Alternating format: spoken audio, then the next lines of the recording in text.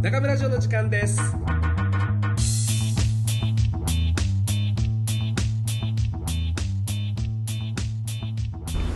新年明けましておめでとうございます。フール003です。えーっと今日もサンフランシスコの、えー、長谷と東京の大阪と3人でやっていきたいと思います。お二人とも新年明けましておめでとうございます。おめでとうございます。なんじゃそのテンション 今長谷の住んでるサンフランシスコ天候がすごいんだってねはい。いやー、もうめったに雨降んないんですけど、うんうんストームが来てて今ん、すごいことになってます。えーすごいことになってるってほどじゃないんだけどね、日本の感覚で言うと。台風ぐらい？うん。うーん、いや、日本の台風うん直撃より全然、あの、何？うん。ひどくないけど、あそう。へえ、うんでも、何、備えがないから、まあそうだよ。ねガラスもさ、ででっかいガラスでさ、うんうんうんなんかちょっとでも吹っ飛んできたらもう終わりじゃないかな、みたいな感じだし、あとなんかこう、水はけが、じゃああるんだけど、うん。排水溝みたいのがうんね、でも、うん、やっぱ日本ほど降んないから、ちょっと降るともう詰まっちゃって、で、そこから溢れて、道に土砂が流れてきたり、まあね、弱いんですよ、本当悪天候。まあ、ニュース見てるとさ、送ってくれたやつを見てると、降雨量がだいたい2インチとか、2から10インチって書いてあるけど、全然ピンとこない。なんだろう、インチがどんぐらいかよくわかんない。1インチだいたい 2, 2インチで5センチぐらい約。あー、5センチだ。っていうか、でも大した雨じゃないと、でもさ、あれ見たらめっちゃ降ったんだろうなって感じするでしょうん50ミリ、超大雨なんじゃないかなって感じするじゃん。50ミリから一応降100っ。てるよ。降ってるけど、日本の大雨に比べたらもう多分、そんなでもないと思うんだけど、体、ごめん、体感的な問題。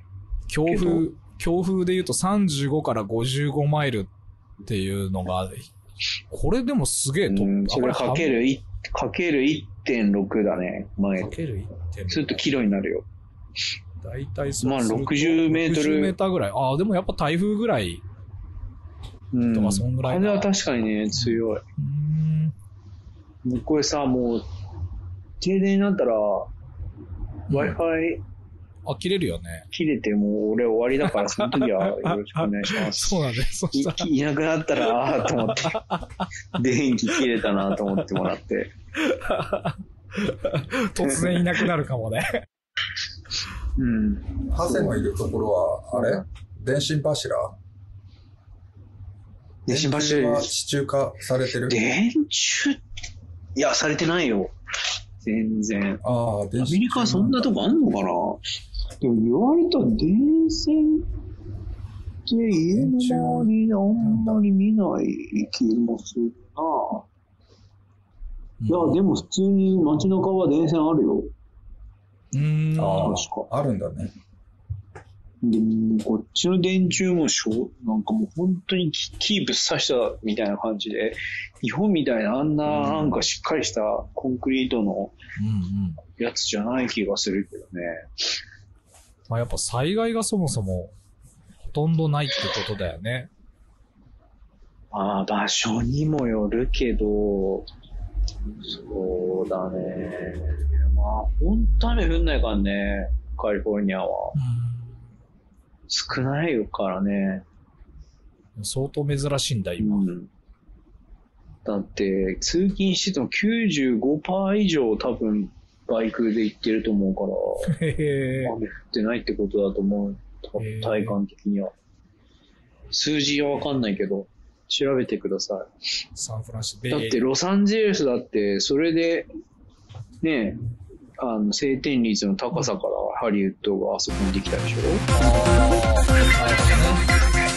うなんだ。中村城の時間ですそうだよ。それは確かに。うん、でも今、いいなちょっとなんか荒れてます。珍しく。晴天率ってどこに書いてあるんだろうな。高い。なんか今ね、調べてるんだけど、気温はいっぱい出てくるけど、晴天率が出てこないな。うん。そもそも晴天率っていう言葉がないのか逆かもね、雨の確率が、な。のあ方を調べた方がいいのかあ、確かに。でもなんて言葉になるのかわかんない。うんうん。降水確率ではないしね。そうだね。降水量とかっていうのも、まあでも、あれだね。今日が晴れなん、晴れだとか雨だとかっていうのを、きっちり仕分けするのが難しいのかもしれないね。ああ、降雨量は出てる。うだね。うん。降水量か。降水量とかは出てる。8、10ミリとか8ミリ、最大10ミリぐらいか。一月あたりが。って考えるとすごいね、今日の10っ。てこと1センチ。うん今日の雨、1そう日で年間分ぐらい。いや、今ね、これ、うん。そう、今日ぐらいからストームって言ってんだけど、うん年末に歴代観測史上2位の降雨量だの日があったのよ、20、何日だったっけな。29だか30だかそんぐらいに。そう。で、もうし珍しくここ数日本当雨が多くて、うん。元旦だけパッカーンって晴れたけど、もう2日の日にこうち自分家停電になってうん、うんそれで3日も停電で、で、3日の午後にまあ復旧したけど、で、今日またこれでストームでしょ？だから、なんかちょっと、変な年明けなんだよね。へうん。ーでまあ、うん。それ以上でもそれ以下でもないんだけど。こんな感じです。どうですか、そっちは？こっちはね、寒い、寒いなってぐらいかな。ここ最近あは。あ、そうだね。まあ一番寒い時期だよね。ね、東京も結構冷えたっしょ。去年の年末ぐらいから。そうだね。そうだね。マイナス1、2度いってるね。うん寒い時で。マ夜中は。東京って氷点下行くんだっけ？いや、行ってなかった。寒いねハセがいた頃は。うん。あ、そう。寒くなってる。そうなんだ。なんか、夏は暑くて、冬は寒くなってんのかな。そうだね。温暖化って言うけど。うんうーん。そうなってる。うん。もうこっち来てももう冬最悪だよ日本って、いやさ、日本の文化がさ、いちょっと、やっぱ変わってるよ、何いかに耐えるかみたいなさ、風潮があるじゃん。うん。家の中もさ、んみんながいる部屋だけ暖房をつけるってさ、んうん廊下だったりトイレだったりさ、ふ風呂場とかもうん。めっちゃ寒いじゃん。っうん。ていうか、それ、俺んちだけ？がそうだっただけ？なんか、こっち来たらさ、この前、サンクスギビングの時にマイナス10度ぐらいのところに行ったんだけど、ん飛行機で、うん。うん、うん、ミネソタ州ってとこに行ったんだけど、うん。普通にマイナス10度とか20度とかなんだけど、なんかもうそこら中、要は駐車場にまで暖房入っててさ、うん。なんか寒いんだよ。確かにとんでもない気温なんだけど、まあ、本当に体一つで表に出てる時以外はもうなんか、みんな室内でバーとか行っても T シャツだしね。で家帰る時だけバッて羽織って車までちょっと寒いみたいなぐらいで、なんか、日本でこの気温になったら、何？ここ。までいろんなとこが暖かくなってないから、しんどいだろうけど、なんか意外とこんな感じなんだったら、外に出さえしなきゃいけんなって思ったね、ちょっと。あ、北海道とかが結その構そん代わりなことだよ。あ、そう、そうらしいね。俺一回も行ったことないんだよね、北海道。いうんや、にしてもさ、なんか日本ってさ、なんか夏もいかに冷房入れないかみたいなさうん。そうそうそうう。ん。結構みんな頑張るじゃん。うん。うん。まあ、耐えるよね。そういう電気代高いしね。で、おも、面白いなと思ったうん。うわ。ん。もう全然我慢しないもん、こっちの人たち。うん。確かに光熱費とかの違いもあんのかな？高いのかな？こあ、安いのかな？こっちの方が。わかんないけど、いやーまあでも相対的なもんだからさ、その、単純に比較してもしょうがないとは思うんだけど、だなんだろう、日本、日本の光熱費と、サンフランシスコの例えば、ハセンとこの光熱費を単純に比較してもさ、それ相対的なもんだから、生活費に占める割合とかの、こう関係性がないと分かんないとこもあるじゃん。で、それで考えるとさ、まあ、その、コストの高い安いは多少あっても、まあ同じことだよね、考え方が違うんじゃないかなとは思うけどね。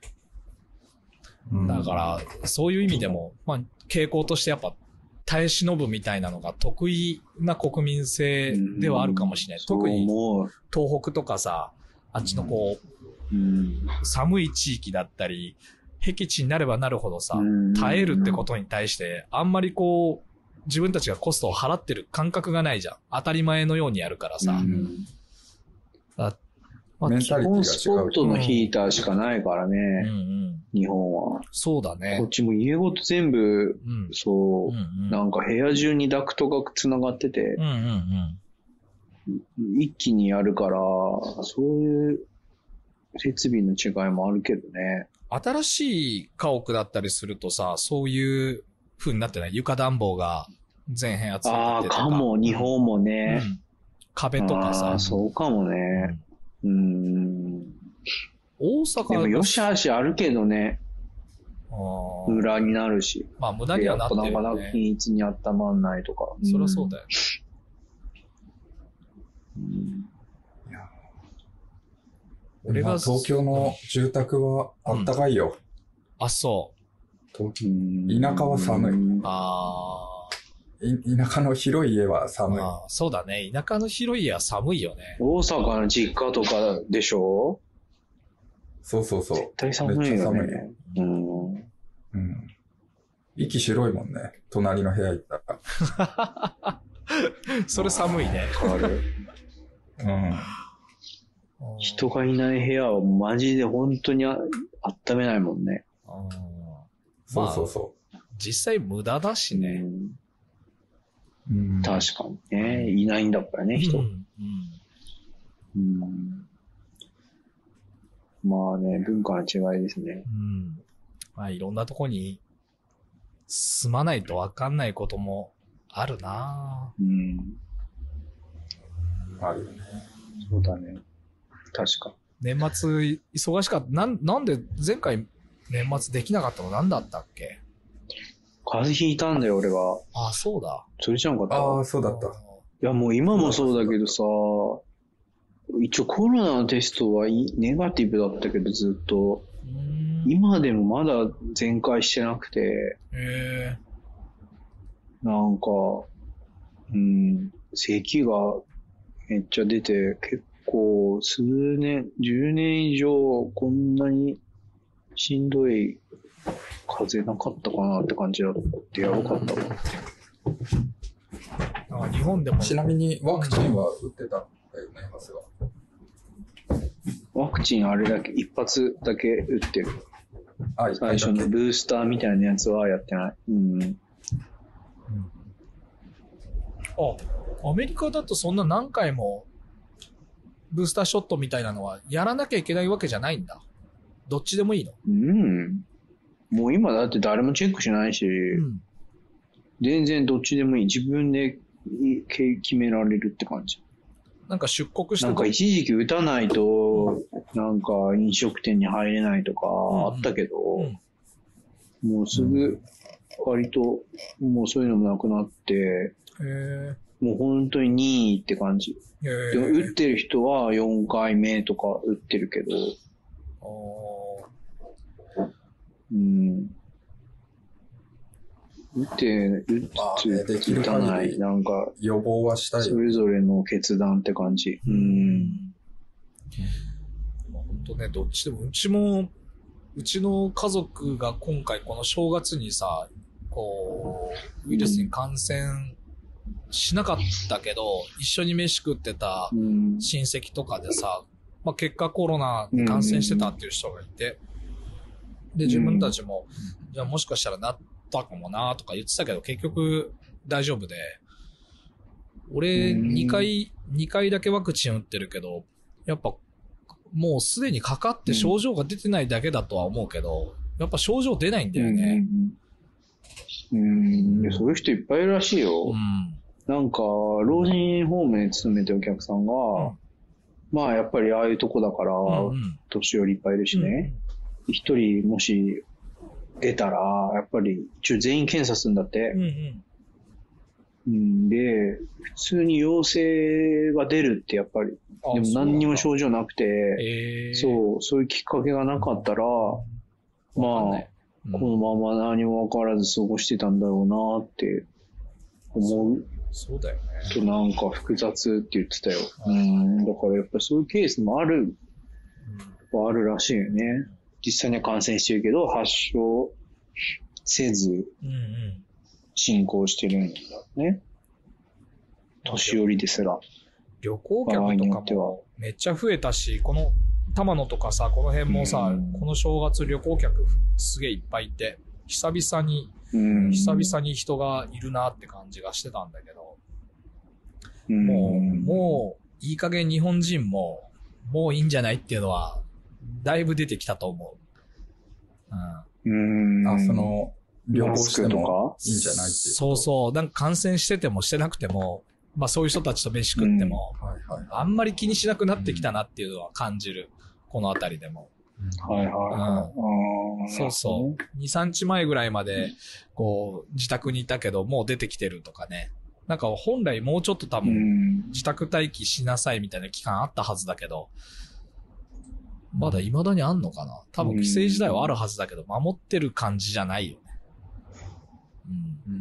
うん。んそれ、外国人向けの規制？ん？日本人？あ、そうそう、日本、うーん、そうだと思う。日本人向けだと思う。外国人の場合どうすんだろうね？ホテルでこもってろってなんのかな？なんかでも、いやもう？規制がないから入って、なくなったから入ってきてんだよ、だって。それは、あれじゃなくて、入国の規制だからじゃなくて？こっちなんかもうに、そうそうそうそう。もちろん、あの、隔離もああ、へえ。含めて。うん。やっと日本に行けるっていう人めっちゃいっぱいいるよ。へえ。もう、毎年必ず行につつけなかったっていうとか、もうち、1年前、2年前にチケット買ってたのに、ずっと延長、延期延期で、やっとこの何月か行けるみたいな人、すごいいっぱいいるからね。なんか実際ここの、隔離はないよ。でもワクチンの接種証明とかいるかもしれないけど。うんうんうん外国人も増えたよ。すごい増えた。まだ、うんまだでもあれだね。中国人の人とかは少ないかもしんない。台湾ニーズっぽい人中たちはいるけど。国が、うん。だから中国がだってさ、それでずっと旅行認めてなかったから、中国人が世界に移動してなかったじゃん、あのゼロコロナで。うんうんうん。でもデモが発生ししたでしょ、習近平に反対するのええプラス、あの、うんコロナの締め付けがすごすぎて、なんかもう今まで本当に規制されてたから、中国の中でね、うん。外国にも行けなかったし。うん。それが、デモがすごかったから、習近平が、あの、規制を緩めて、もう中国の人も外国行けるようになったり、いろんな今まで押さえつけてたのを解除した途端、今めっちゃ死んでるじゃん、中国。コロナで。。ええそう、だから、すごい複雑よね。自由を求めてさ、立ち上がった人がいっぱいいて、実際それに政府が、まあ、ちょっと妥協したというか、国民の言うこと聞いたら、今度は感染でボコボコ死んで、で、中国は規制緩めたからもう海外に渡航も許可してんだけど、いやいや、今中国そんなにひどい状態で入ってこないでくださいって言って日本も入国規制かけて、かけたじゃん、うん。今。うんで、それをつい何日か前にそれにすごい猛抗議してた中国の政府がね。これ、これさ、今中国のデモのことちょっとし見てるけど、これ割合的にはどんなもんなんだろうね。その、人口全体からすると。中国ってす、まあ、なんかわかんないけど、結局そういうのが起こるのってもう、情報力がある程度あるうん。都市部。の？うん。いや、俺らが、俺らってすごいおかしい、他の国と違うことされてるよっていううん情報すらないと思うわけ、田舎の方はね。確かに。ネットワークが遮断されてて。うん。めっちゃ電話鳴ってる。電話でうす。ん。あ、行った。あうん、だからけ、ある程度やっぱ大きい都市だと思うよ、そういう風になるのはさ。確かに。だって SNS とか基本できないんだからね。そうだね。同じツイッターとか、がそういうのはできないっていうもんね。うん。そうそうそう。そうだと思中国な、行ってみたう。いんだけどね。なんとも言えないよね。とんでもない数の人がいるからさ。まあそうだやっね。ぱり暴動が起きるのは、さすがに共産党も怖いよね。そりゃそうだよね。実際それで過去に自国民に向けてうんうん。ね、攻撃してる歴史があるぐらいだからね。そうだね。うーん。中国の場合いやーでもなは、んとも言えないよ。複雑だなと思った、あれ、あのざまを見てて。うん何が正解だかでもめっちゃ死んでるよ、今。あ、そう。うんええでもそれで今、もう人口がやっぱとんでもないから、中国。うん。で、やっぱコロナの怖いとこって突然変異らしいんだけど、今までもね、オミクロンだの、デルタだのあったけど、これでせっかく世界で収まってきてんのに、毒性がどんどん弱くなってきて死者減ってんのに、中国のとんでもない人口の中で、もう俺らが、なんとかやり過ごしたコロナがまたとんでもない流行を起こしてるから突然変異して、うんうん。それがまた世界に散るのが一番怖いって、やっぱり言ってる。なるほどね。いろいろ知識のある人は。ななおかつ今、ちょ中国はゼロコロナ政策、規制緩和して、中中国の人が普通に外国に飛べるようになってるから、ど。うんうんまあ万が一変異株が発生してて、それがまた他の国に入り込んで、で、それが毒性が強くて感染力が弱い。株だった時が一番厄介なんだよ。ああ。まあでも基。本的には感染力が強くて毒性が弱くなっていくうん。のが理想的だから。うんうんこれでも、あり得るもんね。それ、そういうのも。あり得る。うん。で、その場合でも収束が早いってことでしょ？長引かずにさ。いや、み、いや、一番いいのはみんなかかっちゃって免疫できるのがいいから、感染力が強くて、毒性が毒弱い。性が弱い、そう。でもその方がウイルスとしても生き残る確率が上がるから、そう、そうなる傾向があるらしいんだよね。そりゃそうだよね。まあ、取捨選択していくもんね。そうそうそう。ずっとね、人から人へ移り渡って、その宿り主が死んだらウイルスも一緒に死ぬからさ、うん基本的には。確かに。で、ウイルスも生存していくためには、毒性を弱めて、うんうん。その分感染力が強い方が、ウイルス的にも生き残りやすいらしいんだけどね。え、でも、い、家っていうか、建物の中だけど結構車の音すんだね。もう、そうだね。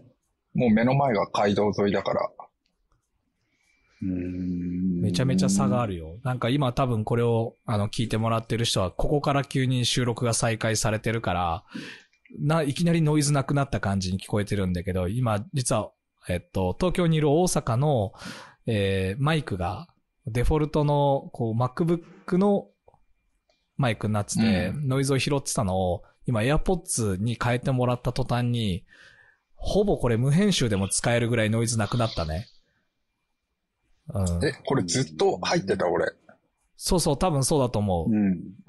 だから、へー多分触ってる音とか、ごそごそ手元が動いてる音とかもしてたから、何のノイズが入ってんだろうなと、ちょっと思ってたんだけど、つか、ここまで静かになると、あのね、ハセの雨の音聞こえる、少しだけ。サンフランシスコの。あ、嘘。うん。少し聞こえる。今だい、なんか、おとなしくなってるよ。なんか時折、ちょっと雨強く、雨足強くなる瞬間があるじゃん。うんうんあの音が聞こえる。あるあるある。うん。へえ。いや、エアポッツすごいなすごいねそれあれ？新しいの買ったんだよね。プロうん、AirPods Pro。うん。えプロじゃなかったら、違うのかな、また。どえー違うんじゃうない？なんだろうね。いわかんないけど。そうだね。マイクの方にノイキャンが入ってんのは AirPods Pro だけでしょ、多分。うん、うん。プロの方だよ。うんうん。すごいわ。いやなんなら、ーはい。俺が使ってるコンプレッサーマイクが微妙に今ノイズをむしろ拾ってるもんね。エアコンの音を。こう、波形見てると。ヒューイン、ヒュイーンって音がする。あ、多分、あのね、ビルの清掃の人が掃除機かけてる。ああ、うんそういう、その音か。うん。これ多分 AirPods にするとなくなるよ。そんなう音すん。まあ、こえ、何使ってんの、ヒロ俺はロードのコンプレッサーマイク使っては。る。普通、あ、普通にちゃんとマイクを使ってんだ。そうそう、マイク使ってる。マイクとヘッドホン。うんへえ。俺、AirPods Max だけど。AirPods Max、Max? うんあーあのヘッドホンのやつ？ヘッドホおーいいね。うんえー、おお買ったんン。だ。そう、どう？買ったんだよね。あらららら。いや、いい。いい？そうなんだ。めっちゃいいよ。うん。えー、めっちゃ使ってる。いいななんかやっぱこの外音取り込みができるのがいいよね。えうん。なんか周りに人いても、なんか低い音量で音楽聴きながらー、、うんうん。他の人とも会話できるっていうのが、えーやっぱいいよ。最近ねヘッ、ヘッドホンを変えたんだよね、俺も。ソニーの、あの、スタジオマイ、スタジオヘッドホンみたいなやつに変えて、なんか、うん編集するときに、他のヘッドホンだと、すごい、こう、なんて言うんだろうな、味付けされてたりするんだね。うんうんうん俺は知らなかったんだけどさ。モニタリング用のやつにしてしたってそうことね。そう。したらもうオールフラットになって、で、これで編集するそうと、ね音のなんか、こう、微妙なバランスを取りやすいっていうのを見て、今それ使ってる。ううんん。スピーカーもそうだよね。モニタースピーカーとやっぱりそうじゃない音で。へえ。違う違う。ハセが使ってるやつ全は？使ってたやつ、よく、でっかいスピーカー？うん、スピーカー持ってたじゃん。JBL のでしょ？そうそうそうあれもだからモニターだよ、モニター。スタジオモニター。あれがモニター用になるんだ。へそうえ。。モニタリング用の、だからプロとかが使うやつ。実際の、そう、味付けされすぎうて、ん。そう、じ味付けされすぎてう、んなんて言ったらいいのかな。要は基準値、うん。うんうん。基準値でやんなきゃいけないじゃん。うんうんそういうよ。だよねだからヒロの今ヘッドホンの話と一緒だうん。よ。はいはい。へえ、スピーカーでもあるんだね。あるある。っていうかスピーカーが最初でしょ。ああ、そうなんだ。そうだよ、絶対。あの、音楽作る人が使うスピーカー何をもってその標準とかさ、フラットってさ、個体によって、個体っていうのがその人の方もさ、個体によって聞こえ方とかって多分それぞれ違うじゃん。同じ音聞いててもさ、うんうんうん機械でもそうだろうけど、なんか基準があんのかね？人種とか年齢によっても違うってよ。まあそうだよね。聞こえてる音が。うん。なんか高周波数あと色も。うん。あそうだよね。色もそうだよね。色も一緒。うん。だからモニターもやっぱり、あのーまあ、いね、今味付けって言ってたけど、まさにもうその言葉ぴったりだよね。うんこう、よりどういう風に見せるかっていうのをモニターがある程度、まあ味付けしちゃって出力してるのと、やっぱりもういかに忠実にフラットにっていう。その辺がやっぱアップルは、うん。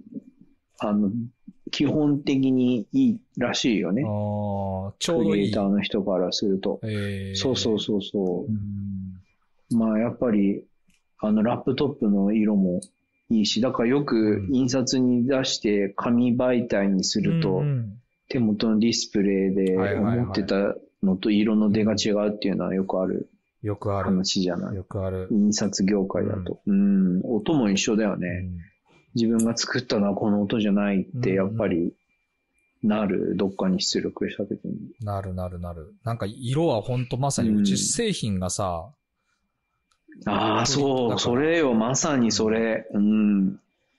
だからやっぱり、りそのズレがいかに少ない環境で仕事するかっていうので、みんな、うんそうなんねやっぱり Mac 周辺はそこが結構評価が高いのと、あと映像さんとかうんうんうんが割とね、プロダクトとしては有名だよね。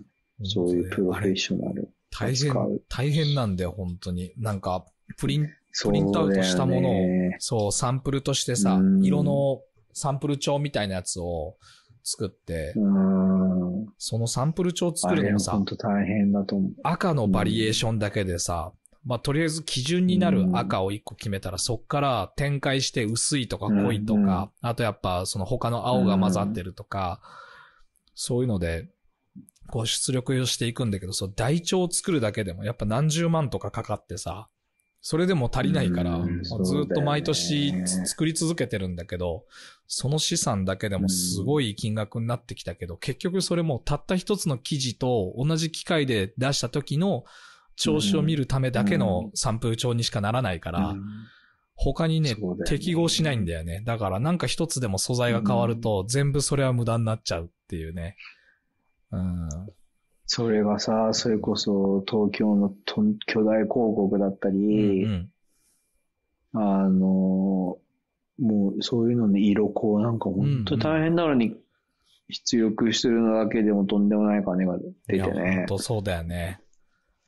うん、そう思う。あともうデジタルデバイスじゃんう。んうんうん。iPhone で見るのとはい Android で見るのでどう変わるんだとか、違うよね Android だったらそう、メーカーによっても違うだろうしね。うんそういうのを全部テストして、ブラウザのピクセルも違うしね自分。の、うん。うん、そう、本当に。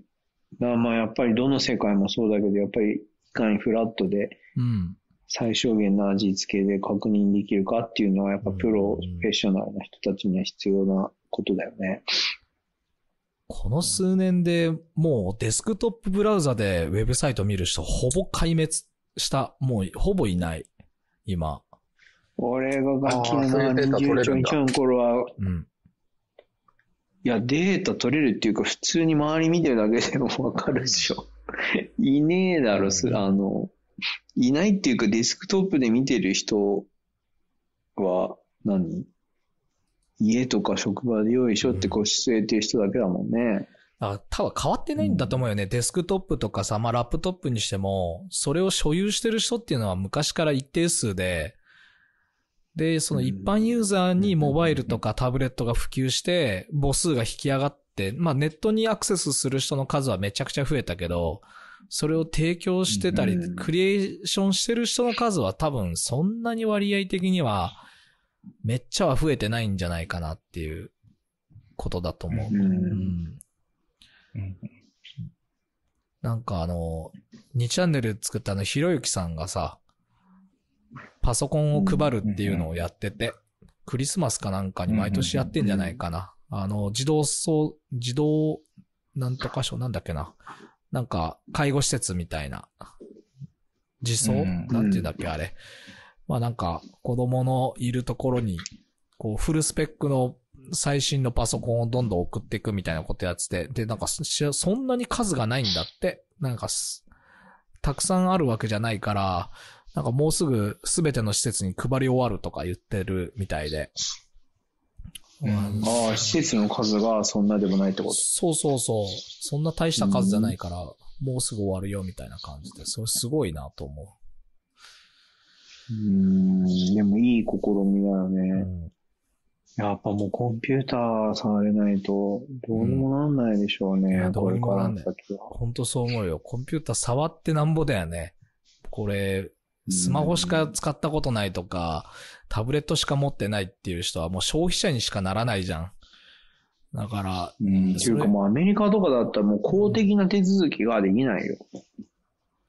P、え、その、最低限のネットのリリテラシーがないと。うん。いやもうみんなオンラインだもえー、ん。それこそコロナになった時の補助金とかだってさ、もうとんでもない数で窓口でやついやさばけないからね。やっぱりどう考えても。日本人はね、失業保険にしても全部オンラインだよ。日本の役場はそれができるんだよ。だから、だから普及しないんだと思うよ。その能力異様に長けてんだって。アナログの、アナログの処理能力は不備もあるけど。でもなんかの時にはそういうパワーの方が強くなる可能性もあるからね。まあね、電どっ源、ちがいいとは言えないけどうん。ハセが言ってたように、電源がある日使えなくなったらね。電磁パルス攻撃でうん受けましたとかなってね。それもさ、攻撃じゃなくてもう、ん太陽のさ、あの、なんて言うんだっけ、あれ、黒う点。ん爆発でね。うん。あれ、うんあれで全部、同じように電磁パルス発生して、家電、もろもろ全部使えないってなったら、どこが強いんだろうね。うん北朝鮮なんかめっちゃ強いよね、多分。あんま変わんねえや、みたいいやー、な。もうまめに通帳記帳してるよ。おじいちゃん、おばあちゃんの貯金通帳が一番強いかもしれないよね。でも銀行動かないじうん、でも、でもこの、私はこんだけお金持ってます。少なくともこの日までゃん。こんだけありましたってあいうーそっ。か。そう。そうだよ。アメリカなんかちょ、あんなん貯金通帳なんかないからさ。みんな PDF で毎月出力されるけど、結局オンラインに行ってダウンロードしてこないといけないしね。いや、そう考えると、すごいそれ、バグが出た時やばいよね。バックアップあんのかな？まあでもそんなことなんないんだけど、もちろんそんなバグとかそのレベルのことはもう考えられてるけど、うん。まあそれこそね、テロだったり、そういう、何？うんうん。大規模な電気障害でも起きるもんなら、まあ混乱するよね。まずキャッシュ持ってないからね、みんなね。うんうんうん。そうだよね。うん、だってネットワークが止まったらまずカード切れないじゃん。うん。お店がだって、うん。まさかに昔みたいに電話回線でやってるわけじゃないしさ。もう今みんなスクエアとかで Wi-Fi 飛ばしてうん。決済するからね。俺らの美容室もそうだけどさ。それはさ、なんか例えば。西洋の文化とかで言うと、ちゃんと分かち合うのかな？お金なくてもいいよみたいな。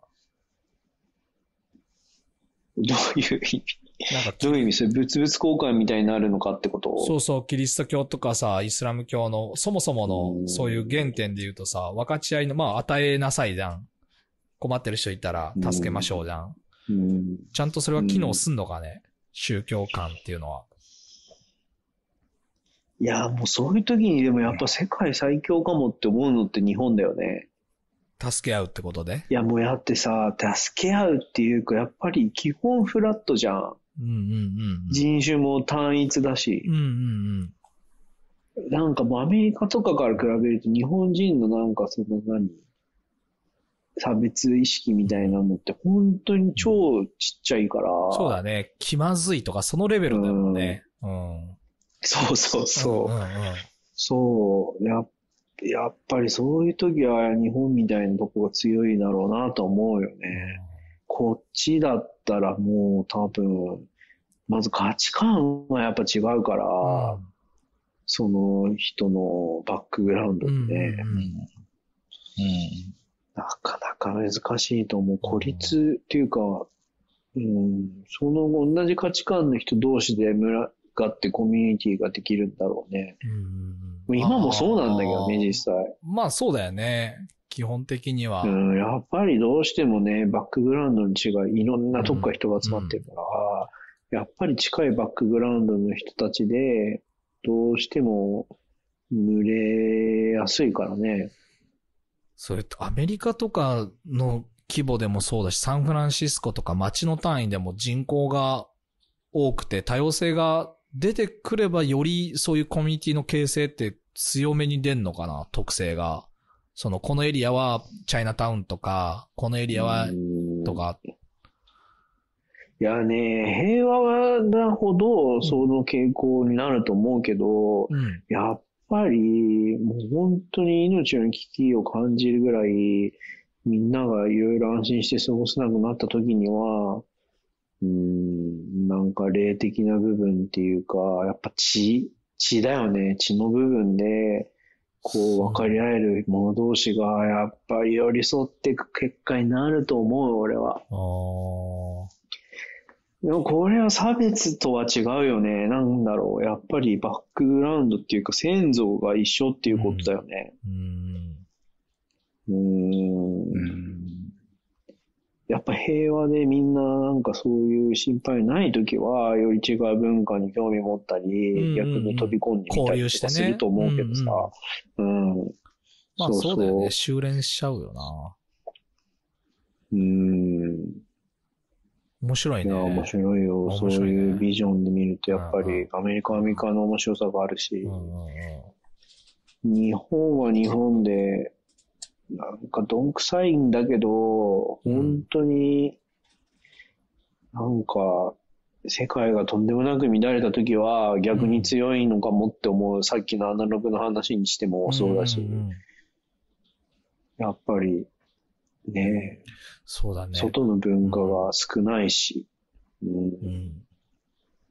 うん。日本は強いよ、そういう時国。だよ。うんまあ、足並みを揃える習慣がそもそも子供の頃からあるからね。あるっていうのはそう天然じゃないじゃん。その遺伝的にあるわけじゃなくて、うんそういう生活習慣の中で生きてるからさ、保育園児ですら。日本の凄さってさ、そのじ、俺らの、なんだろう、国民性だったりそういう部分をさ、対してみんななんか、自覚してないところが逆にうんうんうん。いいんだと思うんだよね。確かにね、メタ認知がなんとなしにやってるるっていうか。さ、そうそうそう。うんいい意味でも悪い意味でも外に触れてないから、うんいかに自分たちのそういう部分が滑稽で、うんうん。他の人から見ると変わってる、なんか、えーっていうのを分かってないし、うんうんうん。しうん、でも逆にそれがなんか、いいっていうか、確かに。そういう部分をあんまりこう、俺らのいい部分だから、なんかより磨いてこうねみたいなって変な方向にもいかないっていうかね。んんうんうん。は、ハセはさ、うん。こう、日本にいるとき、こう、社会というか会社とかの単位で、そういう適応障害みたいな感覚はなかった、起こさな、起きなかった、こう、適応。うん。俺って結構どこに行ってもうまくやってきた方だって自分では思ってんだけど。いや、そうそうそう。うん。そう。どこに行っても結構うまくいや、やって意外とね、だなと思ってさ。うん。そう。そでもまあ、こね、ギリギリのところでうまくやってたのかどうか。多分意外とでも、そうだね。ヒロと俺は適応障害を起こすタイプだろうなと思って。いや、なんか、もしかしたら、俺の意外な特徴は、ちゃんと自分の自己は、曲げずうにん。同調することかもしれないね。あと、見切りをいい意味でも悪い意味でもつけてるっていうか、うん、これは今の環境であって、未来永劫じゃないっていうのを常にちゃんと持ってるから、あの、その場の色に自分を変えれるのかもしれない。ああ、なるほどね。うんうんうん、ただの一個のステップに、特に俺らの仕事ってそういうとこあるじゃん。特にまあ、ガリアスのアシスタントの時なんかさ、自分じゃ何にもできないけど、どんなになんか嫌なやつだわ、こいつと思っても、ヒロなんかそういうの我慢できないじゃん。うん。こいつ、こいつダメと思ったらもうさ、ダメ。もうそう自分がどんだけさ、チンチクリンでもさ、生意気、生意気なこと言ってさ、はい。あの、ねえ、はい。もう、お前出てけって言われて出てくわ、こっちから出てくわっていうタイプじゃん。俺意外にそういうところは、まあ、今だけだからって、うんこいつから盗むとこだけ盗んで、うんうんあの次のステップに行くから、うんまあ今はこの目つぶっときゃいいかなっていうのを割と結構できるタイプかもしれない、あー確かにねもしかしたら。うん。ああ、そっか。だからステップアップしてうん。いって今があるっていうかうんうね。んうん。あ、もうここにずっと骨埋めるって気が。いや俺、小学校の時の夢が社長になることだったから、うん。なんかよくわかんないけど、うん俺絶対社長になるってずっと思ってたの。うん。じゃないとなんか、それは、この世に生まれてきた意味がないっていう。そう。俺本当に何の根拠もなうんく、小1とかぐらいの時から将来でみんな社長だったんだよ。それすげえようんうんな。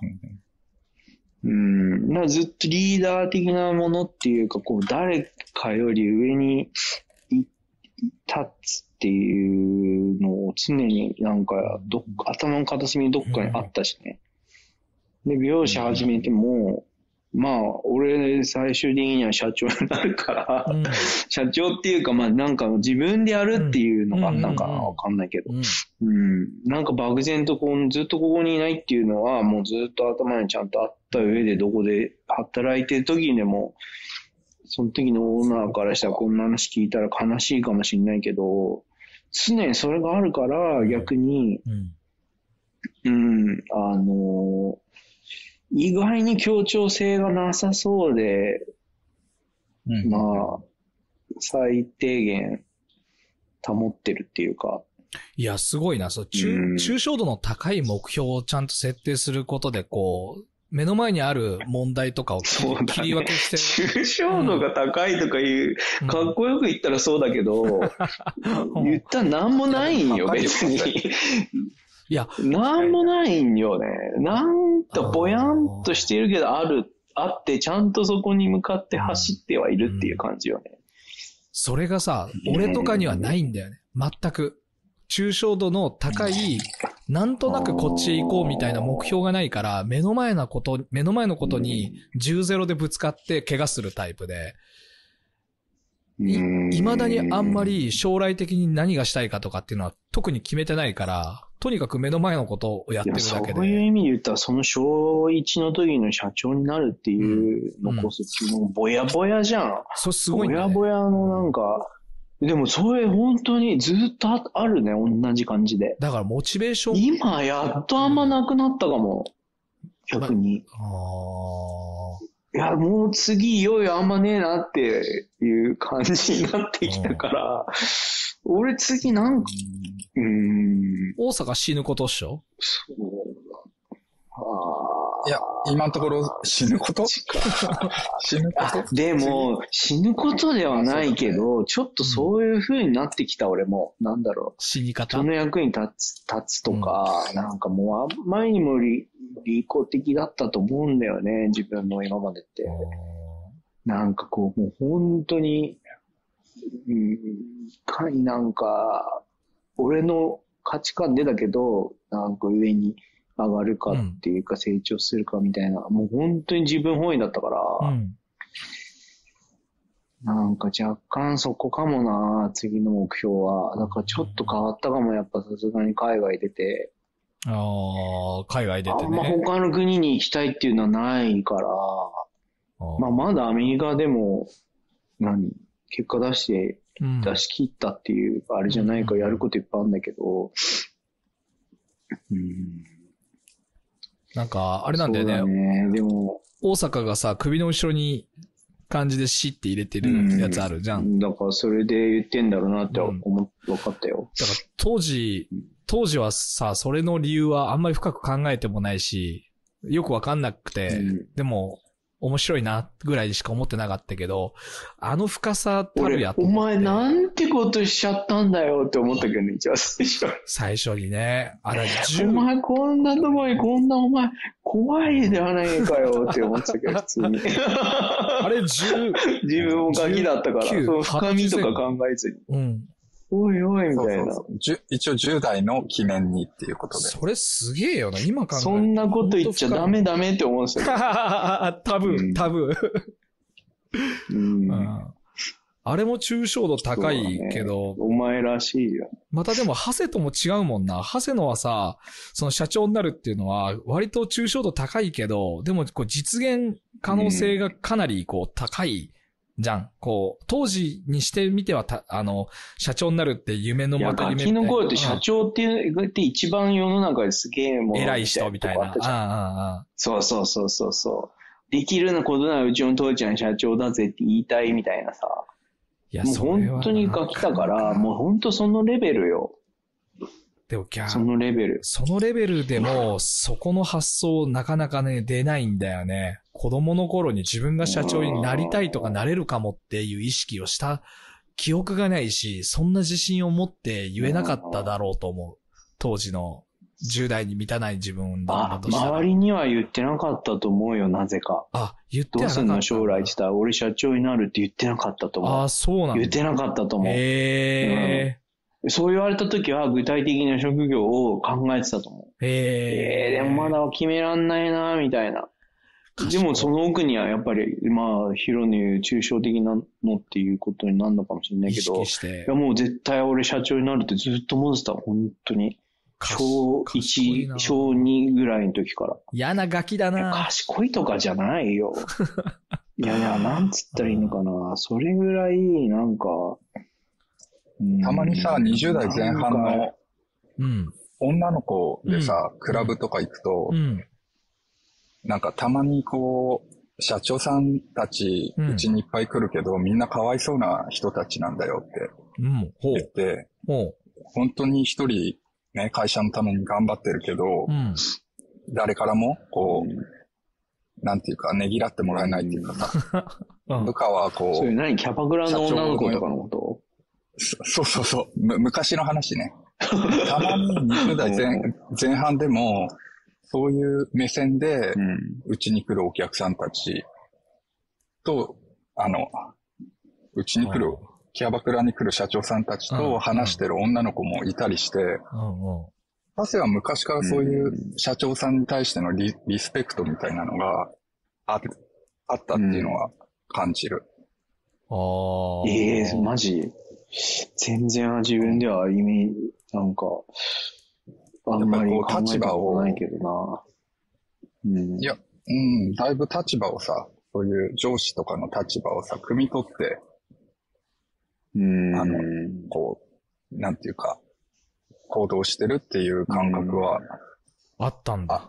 ええ俺はあったけどね割とさ、視点、がちょっと離れている方ではあったかもしれない。なんかこう、常に目先、なんつったらいいのかな？俯瞰してみるとこあったかもしれないね。すげえな。全体像を捉えようとするっていうか。いや、すげえっていうかさ、そうじゃないとうまく立ち回れないよ。君はうまく立ち回れなかったかうら、ん。さ、わかんないかもしれないけど。そうなんだよね。あの、なんで教えてくれるんだと思う。いや、だって大阪わかると思うけどさ、もう結構カオスだったよ。俺最初の職はもう女の人ばっかでさ、上はさ、40代から下はまあ20代の姉ちゃんまでさ、いて、男の人は本当俺とあと一人二人ぐらい、ちょいちょいみんな辞めちゃうしね。うん、でもさ、やっぱりなん40代か、の、うん、ね、共感をする20代のさ、前半の男の子ってなかなかいないと思うよ。あ40代の共感してないよ、別に。に。相づち言って。共感っていうかさ、あの、いや、リスペ勉強になるのはこういう風に思ってんだなっていうー感じで、でもそれ止まりよ。それをなんか自分がもう本当に取り入れちゃって自分もそういう考えになるとかっていう、そうだね。だから俺、やっぱ距離はた保ってんだろうね、常にね。うんうんだ誰かに浸水しちゃうってことないも うんうんん。いや、でもそれがアメリカ来てやっぱりね、変わったんだ。俺、人生初めて、あ、もうこの人には逆立ちしようが、俺がどんだけ時間割こうが勝てないなっていう人がね、ようやく出現したって感じ。それ今のオーナなんか、うん、無理。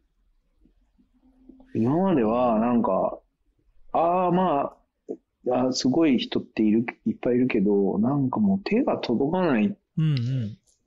て思ったことあんまりないっていう、うんうんうぬぼれてるわけじゃないんだけど、なんかこうやりようによっては、まあこういう、この人のレベルにはいけるかなって。いうんふうに思ってたんだなっていうことに気づいた。こっち来て、いや、オーナーもそうなんだけど、やっぱり頭を向き入れる人が多すぎて、うん。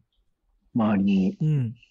やっぱり海外に出てる人っていうのは、やっぱり、うん、切れ者はやっぱ多いよね、どうしても。まあ、そりゃそうだよね。あとこの場所もああ、まあ場所、サンフランシスコの、ね。シリコンバレーって場所も。うん。うん。そりゃそうだやっぱりね、地頭の良さのレベルが、今までの環境とはやっぱりちょっとレベルが違うなっていうのは正直ね、なるほど思うよ。えうん。だから俺、こんな頭悪かったっけな、俺って思う瞬間がめっちゃある。こっち来たら。ー、それはあるんだそれは何がきっかけで、まあ具体的に思い出すの難しいだろうけど、いや、もうね、話のテンポが違う。え？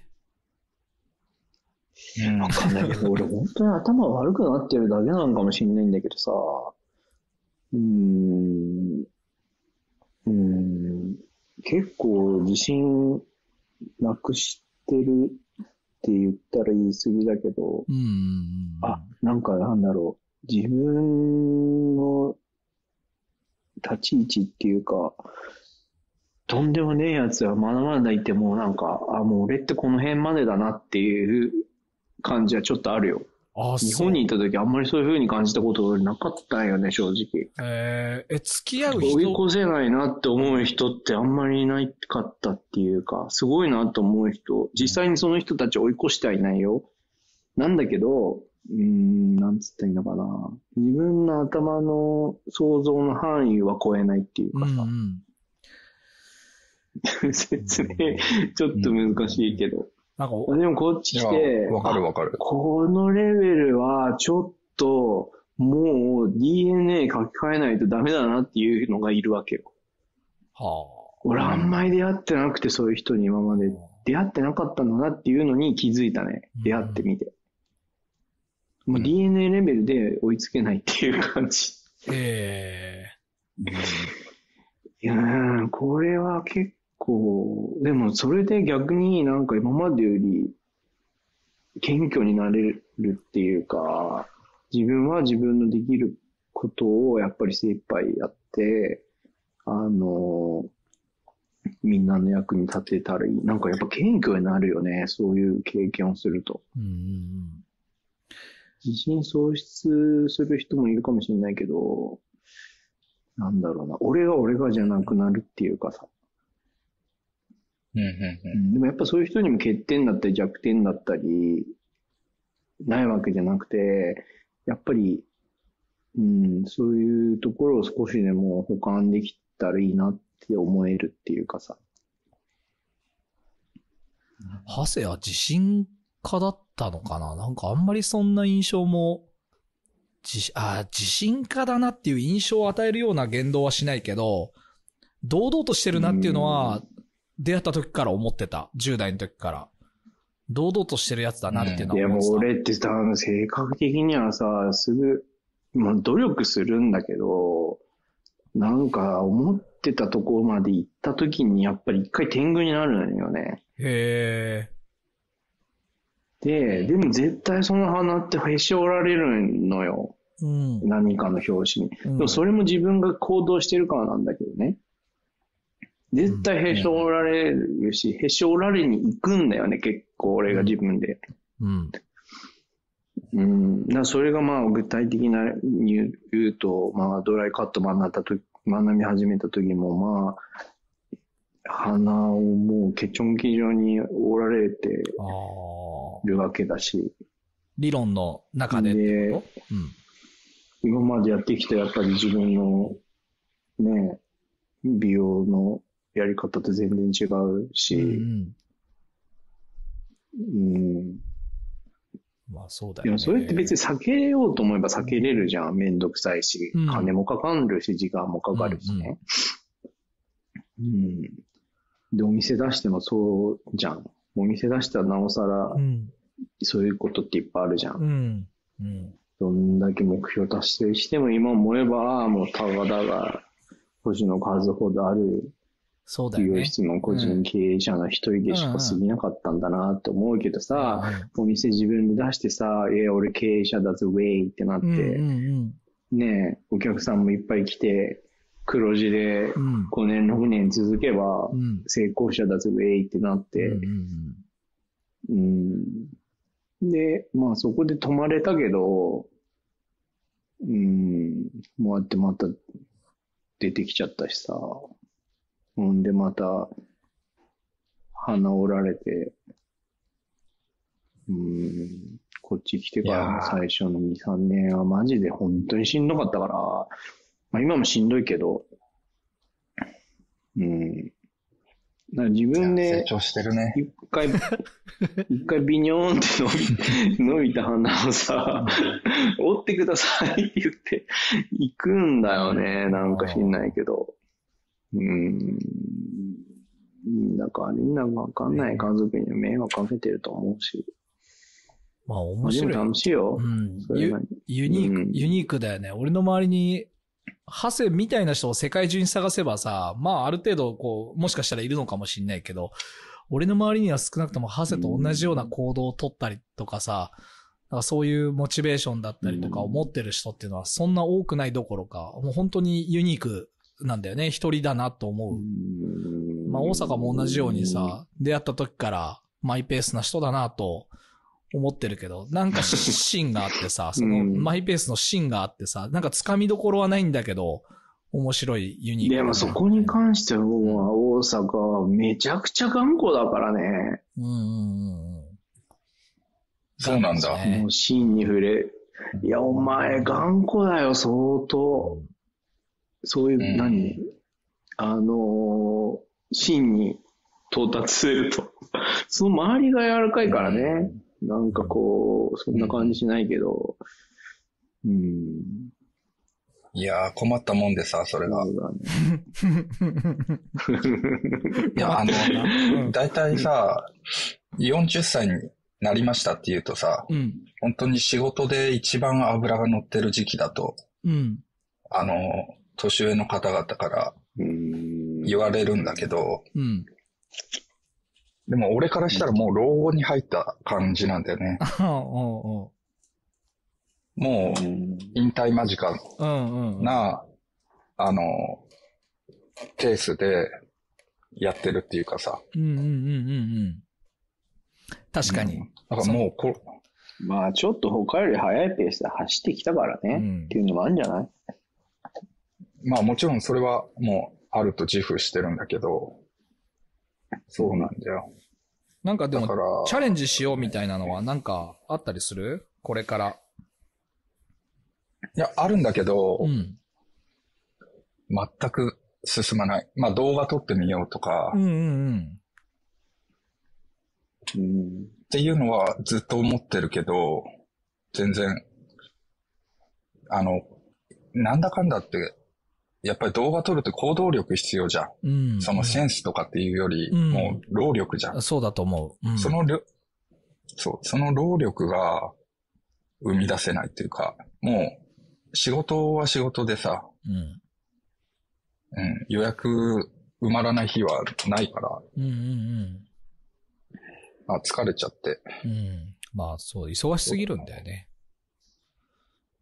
ああ、そうそううん。だからね、やっぱり単価、多分今の俺とヒロだと倍違うから、うーん。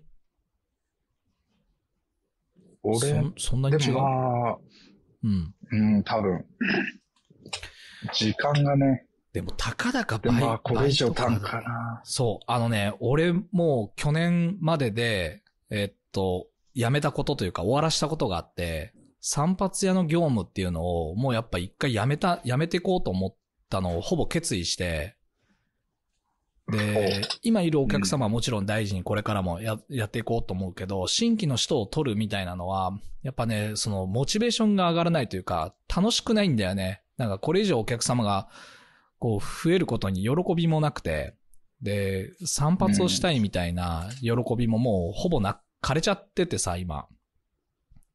う。もうん面白い、単純に面白くねえなってなってて、うんやめちゃったよね。で、物販の方も似たようなことが今後起きるだろうとは思ってて、だから同じようにケープだけ作ってると多分同じ現象が起きるから、これはこっからなんか違う方向性を見出したいなとは思ってんだけど、まあそういう、そういうこうモチベーションが来ない時とか、さっき言ったようにこう単価が上がんない。で、だから散髪でできる限界の単価っていくらかわかんないけど、まあやろうと思えばもっとさ、日本で一番高い散髪屋とかできなくないだろうけど、そのてっぺんを取ったとしても知れてるじゃん。多分、うんうん、ほんと知れてんだよね。年収で1億いくかっつっていかないじゃん。一人でそこまでやったとしても。うんせいぜい数千万単いけば。価上げるっていうさ、うん行動自体がさ、うん。あんま面白くないもんね面。白くない。面白くない。なんなん？高いからなんなん？っていう。あとなんか、ただ低す一点超えるとさ、うんいい、いいとこ、いい塩梅でいいお客さん来るってう。いうんうん。スイゾーンあるけどさ、うん一線超えるとさ、うんまた、これはそれでさ、変なやつうん。が出てくるじゃん。そうだね。癖が強い人にまた。変数だしね。そこがね。うん。なかなかそなんか心地よい部分って意外と上すぎず下すぎずでそれはある。あって、ううんん、そこに行けたらなんかもうあと面白くないよ。なんかなんかそう。ね、ハイスコアゲームみたいな感覚で面白く楽しめる人だったらいいけど、単純にやっぱ仕事をね、人生のうん中で充実した時間にしたいって思って仕事するんだったら、あんまりそういう、ね、それこそ、まあ、言ったら俺ら3人ともね、アベレージよりだいぶ高いと思うんだけど、うん単価は、うんうん。あんまりそこをさ、上に上にって言っても面白くなくない？そうなんだよね。んかもう、そろそろ俺ら年齢にもなってきてくるとさ、なんか、リミットになって生きて。きてさ、なんか、うん。そう、い生きってなんか、なんかいくら取ってるぜとかいう感じでもないしさ。そうだね。それは本当う思うわ。ん。なんか、うちの料金設計するときうにん、工数の単価っていうのをずっと、こう10年ぐらいの間に自分で集計して、こうやってて、もともとね、えっと、キュービーハウスが10分1000円っていう話よく俺するんだけど、あれまあ1分あたりに換算すると100円の工数取ってるっていうのに気づいてから、自分の工数改めて調べると70円ぐらいだったのさ、当時。うん。もう十何年前。うんで、その時に、えっと、まあ、およそ1時、まあ、50分だとして考えたら、70円で換算しても3500円ぐらいじゃん。で、まあ、こう、普通の散髪屋と呼ばれてるとこって多分このぐらいの単価なんだよね。で、ちょっと付加価値つけましたっつっても4000円ぐらいが関の山で、で、キュービーハウスの1000円カットの人たちよりも安い、こう、作業賃で働いてるっていうのが、実情。で、この国でまだそれが続いてると思うんだけど、で、ずっとそこから上げてきて、で、今250円ぐらいなのさ、自分の単価が1分あたりに換算すると。で、ほうほうほうんう。はいはいはい。で、それが大体自分のリミットだなっていうふうに感じてて、プラス今は付加価値みたいな。1分250円ってうんことは1時間いくら？1時間換算はしないんだけど、まあ、50分換算すると12,500円。これが自分のうんスイートスポットというか、まあ、このぐらいがこの地方でやっていくには限度だなと思って。で、それなぜかっていうと、やっぱ今ねう、んカットと顔剃りと合わせたフルサービス、50分のフルサービスで2万円の単価つけてんだけど、やっぱね、うん新規の人来る確率がめちゃくちゃ減った。これになってから。去年、去年この設計にしたんだけど来ないよ。めちゃくちゃ減った来。ないでしょ、そりゃ。地方でう。んで、来ないんだけど、来ないんだけど問い合わせしてきてくれたり。い人、はいると思うよ。そうそう、うん。来てくれる人めちゃくちゃこう特殊な人、地方ではほぼ見かけることがない人たちが来てくれたり、声かけられたりするんだけど、結局ね、うん。そう、地方にいる人なんだよね。どこまで行っても。あの、海外に拠点があるとかっていう人たちもいるんだけど、うん、でもやっぱりうん、東京にいるそれとはちょっと違くて、で、岡山の市内とかに出ると2万ぐらいの単価だったら多分全然通っちゃうんだよ。このこのやり方やれば。数のうん母数がいないからさ、めったに来ないけど、これが市市外に店があれば、全然これでもまた満席にするの余裕だなっていう感じがあるんだけど、でもだ、だからってそういう、ちょっとこう、所得の高い人たち集めたからなんだってなると、うん。数が増えても面白くなくて、それ以上に決済権を持ってるっていう条件は前提にありつつも、やっぱチャレンジできる人とか一緒に商売して面白い人みたいなのが必要になってきてるなと、40代特にこれから40代、50代過ごしていく中で、なんか、給料が高い人たちっていうのにフィルターかけてやったりとか、所得の高い人っていうのをフィルターにしてみたけど、ただそれだけだと面白い人に出会える確率はそんなに高いわけじゃないっていうのも分かるようになってきて、ん。うん。うんなんか、確かにね。俺らの商売で言うと多分ね、まあ、このぐらいが、200円から300円の間ぐらいが、多分今、こう、ちょうどいい塩梅だろうなと思うのさ。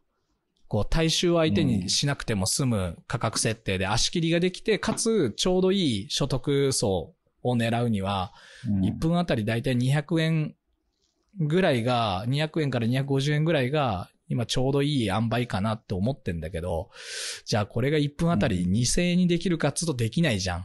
これ以上値上げして、散髪料金だけを上げるの無理で、それ、うん。何が無理なんだってなると、俺の持ってる経験スキルとか、知識とか、やっぱ俺のスペックがそこまで追いついてないんだよね。1分2000円いただけるようなことを俺ができないんだよ。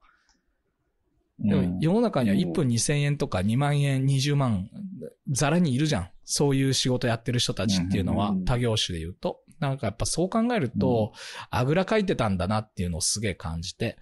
あ今年からはかなり、うん、ムーブで言うとちょっと違った、今までとは違ったムーブしようと思って、6月ぐらいにはサービス開始できる予定なんだけど、ひとまずこう、税務申告、税理士じゃないんだけど、俺は税理士じゃないんだけど、税理士事務所とこの間業務提携年末にできたから、うちで税務顧問のおこう契約を取って、で、税務業務に関しては提携の税理士事務所でやってもらって、で、財務コンサルの部分を俺がやるっていうサービスを6月ぐらいにはローンチしていこうと思ってて、これほうほうほう2年ぐらいあ具体的には、うん具体的には、具体的には、うん。あれでしょ、こう、選択肢を提示するっていうことでしょ？そう、例えば、まあ、それってさ、コンサルっていうことは。うん。そのクライアント、そのお客様になる契約をした人、俺のところに税務顧問と財務コンサルの契約をしてくれた人がやりたいことっていうのが、ニーズがあると思うんだけど、それは人それぞれで法人にしてもっと成長させていきたいっていう人もいるだろうし、家族経営の中で、えっと、利益を最で大化したい。何？クライアントはうん。同業者なの、もう今んとこそこしか見ないつもりでいる。ただ実際には、あの、農家さんとか、あとね、福祉施設をやる人とかっていうのも、この話をしたら、あの、やってくれよって言ってくれた人がいたから、そのうちのお客様の中ではそういう人も受けていくけど、対外的には個人事業主の散髪屋だけを対象にしたサービスでやるつもり。うんうん。で、そうすると彼らの、その、彼らまたその、労働集約型の仕事と言えなくもないけど、まあやっぱちょっと事業だからさ、微妙にそこら辺はニュアンスが散髪屋とは違うんだよね。やっぱ完全な労働集約じゃなくて、やっぱその知的財産みたいなところを、こう、売り、売っていくことでさ、権利収入じゃないけど、得ることもできる仕事の人たちだから、まあ、そういうところにちょっとこう足突っ込んで、自分がこれまで経験して学んだこととかを、今度俺の頭の中が売り物になっていけば面白いなと思って、うん。うん、とは思ってる。そうするとこう、1分あたりの工数がいくらみたいなのを考える必要があんまりなくて、もうちょっとこう、うん。うんどこに基準が行くのか、今まだよくわかんないんだけど、うん。うん工数、工数で仕事するっていうのではなくなるなとは思ってる。うん。その対価のパーセンテージそうそう、もうじ、が対価になるってこと。そう、実績を上げたら。うん。そう、お客様のそのクライアントの欲するもの、あの、目標設定して、一緒にそういう目標設定して、で、適正な目標を作ったら、そこに向かって取り組んでもらって、で、成功報酬で、俺はもらうし、うまくいかなかったら契約切ってもらえばいいと思ってるから、うん。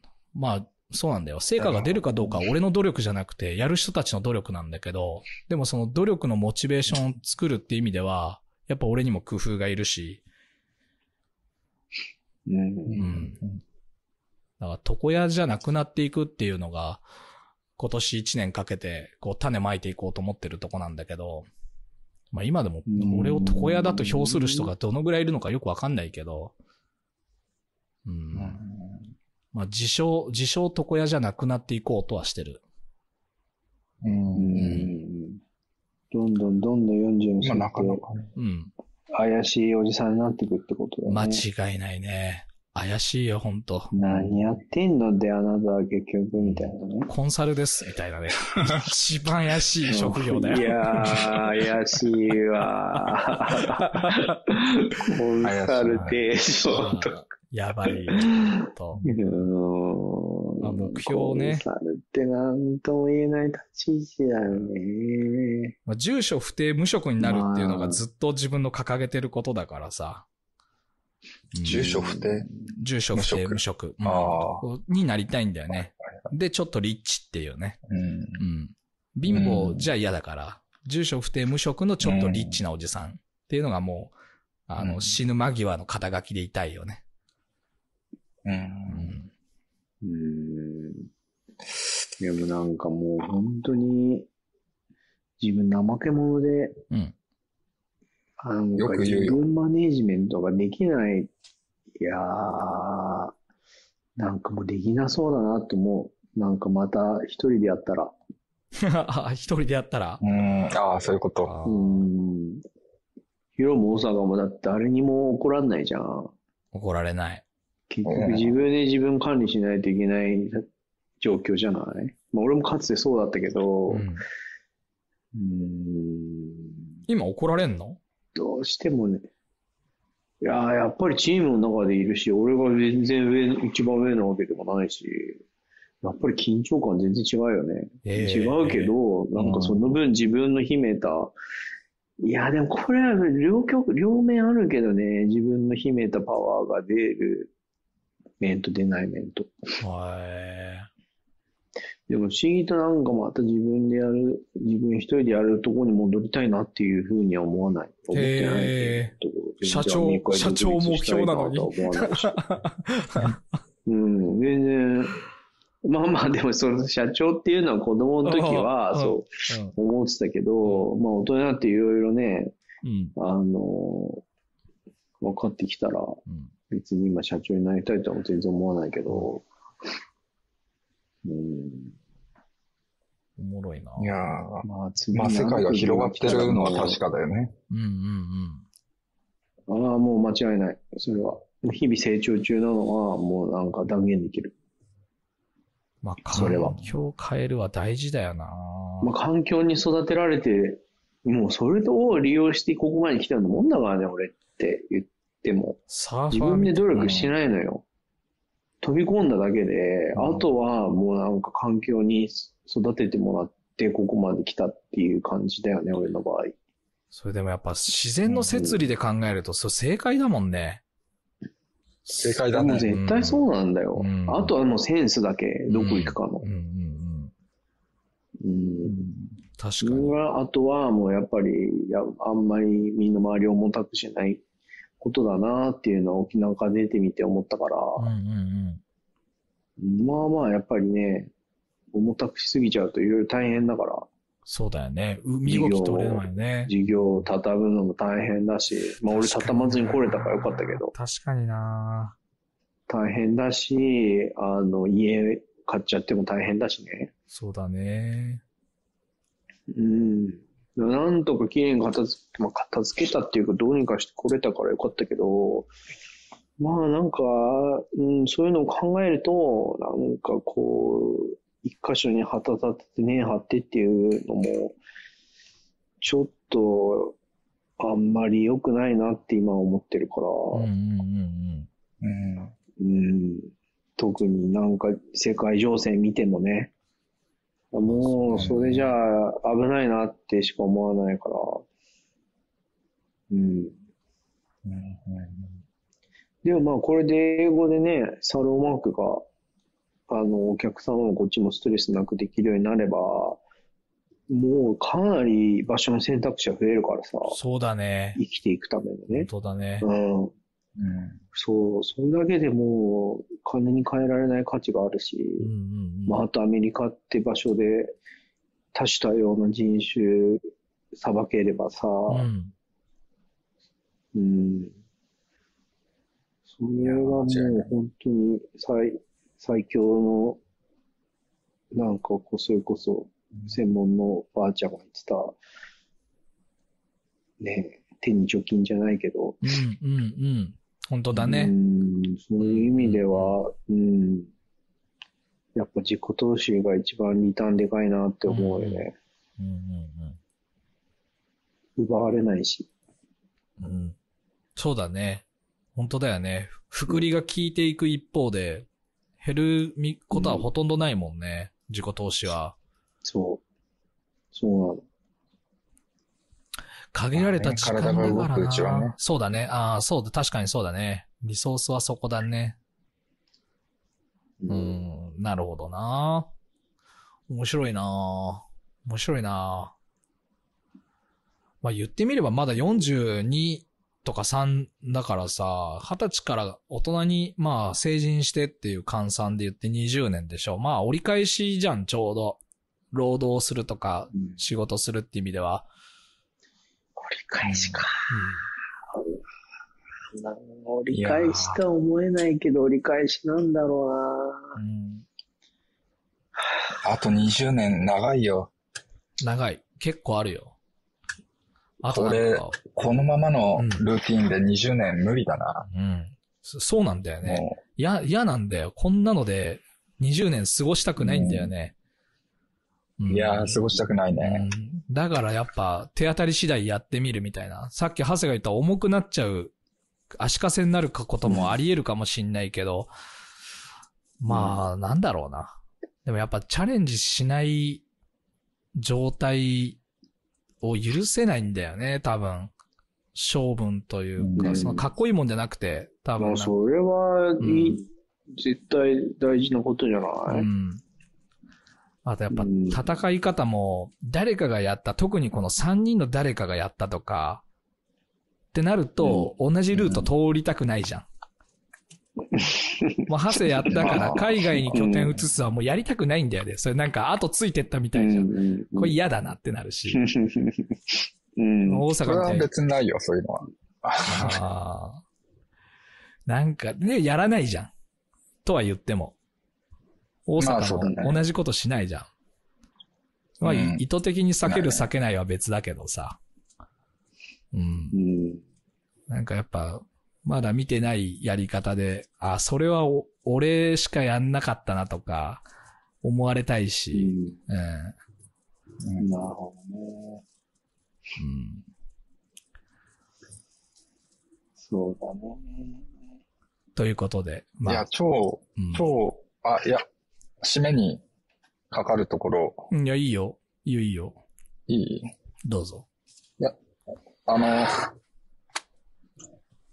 最近、We Are the World と、ほあの、We Are the World ってマイケル・ジャクソンう。とかいろんな人,、うん。人が歌ってうるの。ん。あれと、まあ年末っていうのもあったけど、うん。大工？大工？うん。ベートーベンの大工を、あれを交互にうん。エンドレスで聴くっていうのをほう。自由研究に、自由研究にしてたのね。ほいや、でも、まあ小学生の自由研究っぽくていいじゃん。う。うん。その特性とか、あの、歴史とかさ、うん。を、ふた、それぞれこう、掘り下げていくんだけど、うん。まあ結果的に、そのどっちがどうだっていうのをうん自分でこう、考えても、まあ別々のものうん。なんだよね。うん。っていう自由研究の結果が出たっていう報告をしたくて。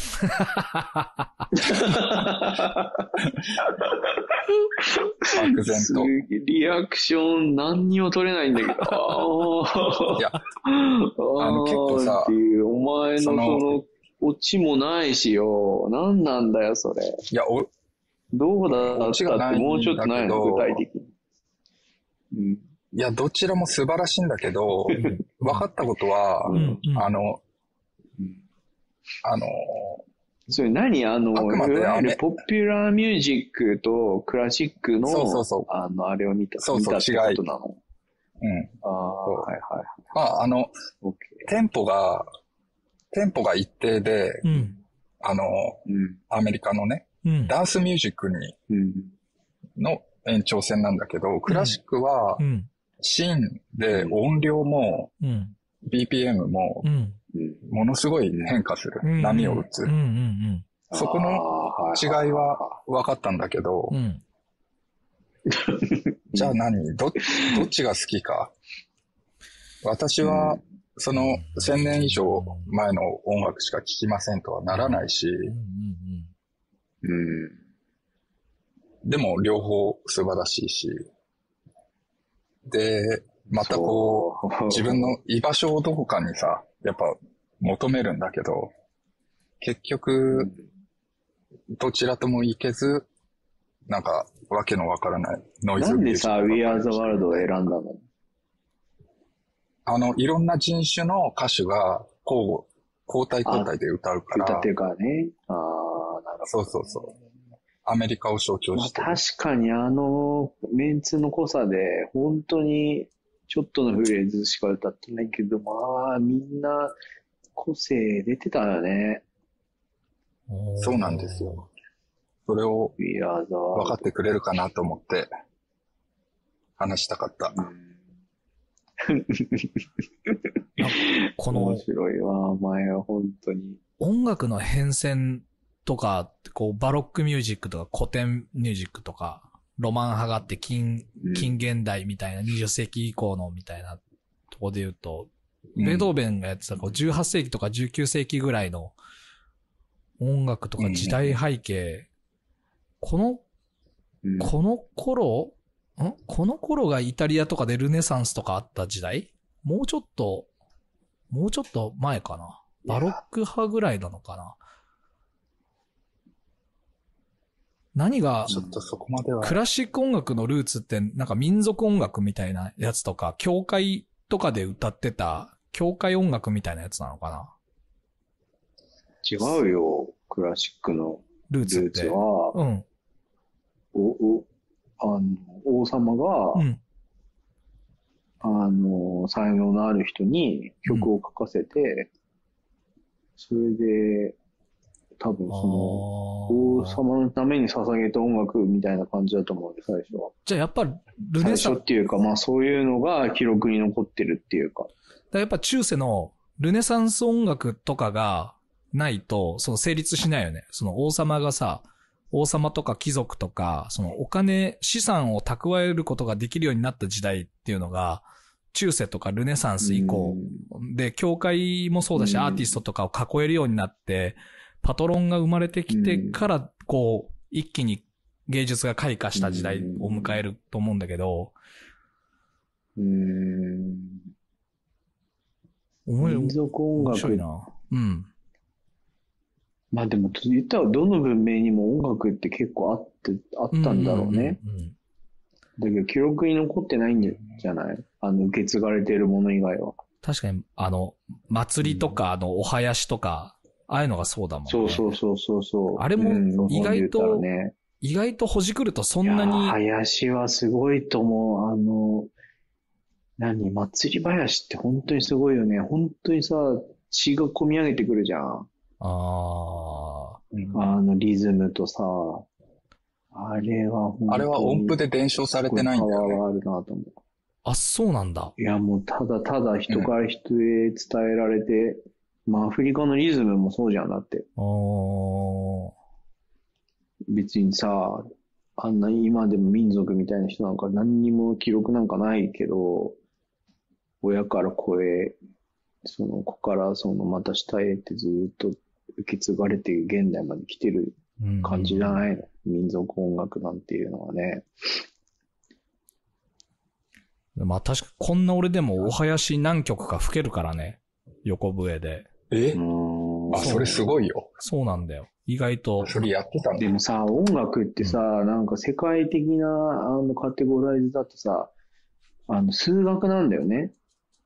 ええ芸術ってなんか文系みたいなさ、イメージだけど、いや、音楽ってあれみたいよ。理系、理系っていうか、でも確かにそうなんだよね。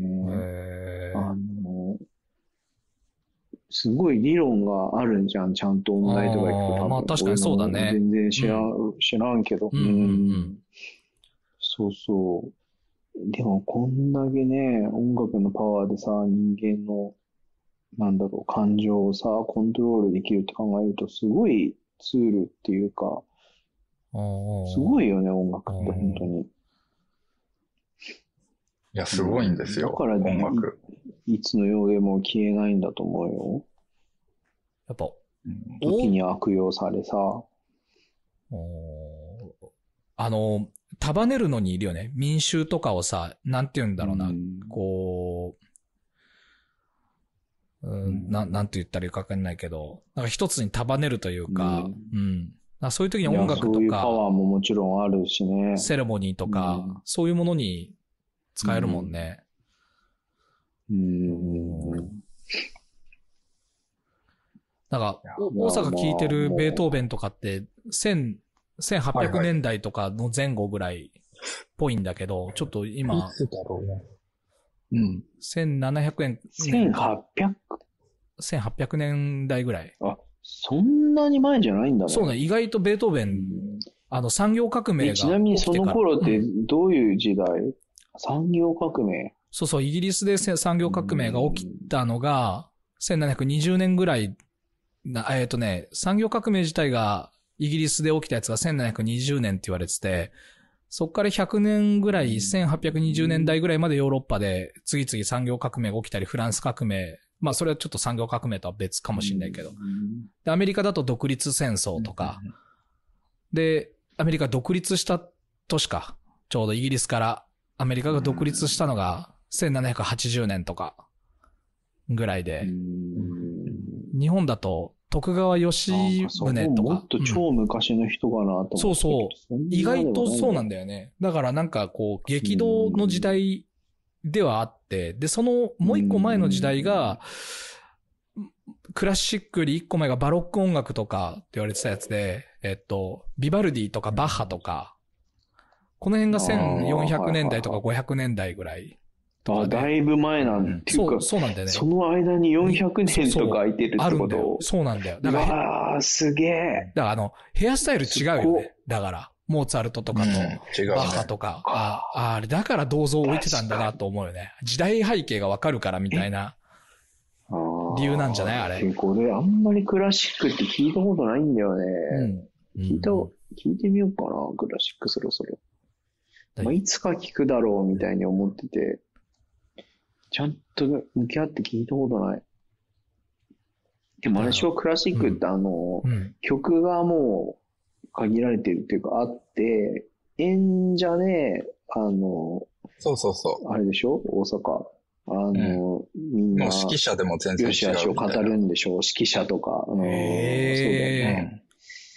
楽譜がそ、れって他のジャンルではないもんねあ。この要はカバーみたいなもんでしょ、ポップスで言うとこのあ、そうだね。ササンプリングと一応名作があかっ。てうんうんうんうん。それを、オリジナルは誰でみたいな感じじゃなくて、もう楽譜でしかないわけだ。その、うん。なんだろう。その曲の楽譜があって、それをどう演奏するか、どう指揮者がオーケストラまとめて、もう正解があるんだよね。表現するかみたいな。ああ、もう正解がある。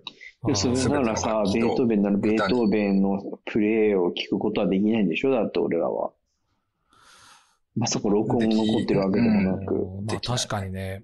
古典、古典ある意味さ、クラ。シックうのん、うん。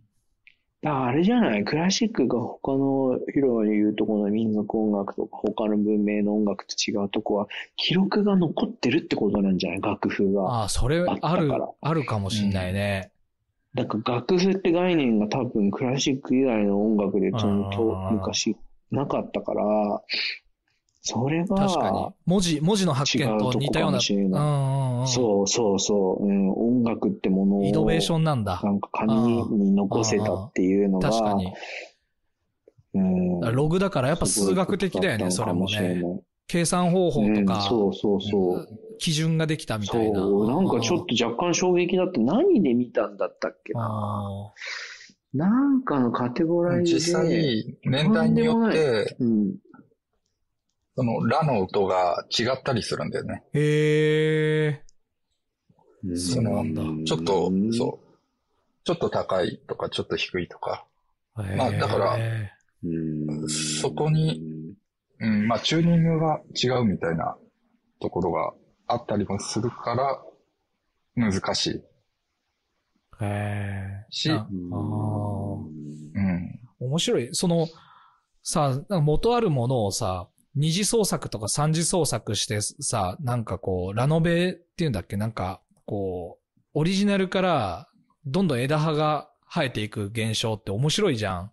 で、うん。ちょ、ちょっとこう、ニュアン、ニュアンスが変わるというか、あの、今ふと思い出したのが、うんミッキーマウスの著作権って今年で終わりなんでね、今年の年末で終了すんのさ。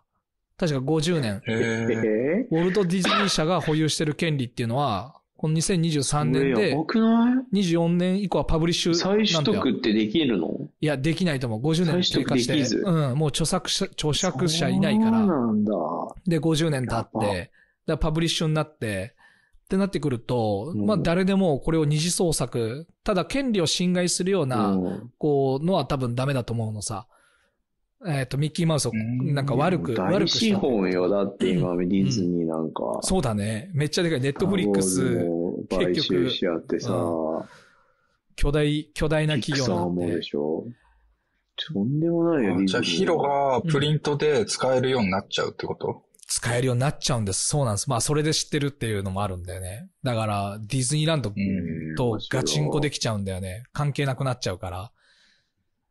だからこの楽しみだなある意味23年の最後の切れてない時に本当はやりたくて、怒られに行けるの最後だからうんさ、思い出として、どうなるかわかんないけどい。や、怖いよ。怖いよね。ここすごいからね。うん。まあ、作っとくのはいいと思うけど。うん。いつ切れるの？それ。この年末、23年末、31日、12月31日で、うん、までが権利があって、あーあと一24年まあ、あと1年。そう、ちょうどあと1年。そうなんだよ。だからそれは、すごい情報だな。多分これアパレルとか、もう、もう使え、使えるじゃん。ミッキーマウスだけどね。ディズニーじゃなくて、ミッキーマウスの。そそのものなんだけどね。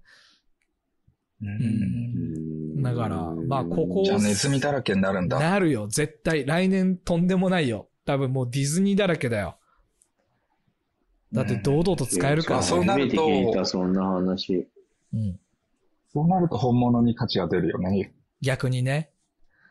だから、オリジナルミッキーマウ。スってさ、ん何？あの、もうもちろんキャラクターの話だと思うけどさ、なんつったらあの、シルエットだったりさ、んうんいろんなあ、そうパターだね。ンでさ、うん、うん、あるじゃない、うん。うん。あの辺はどうなんだろうね。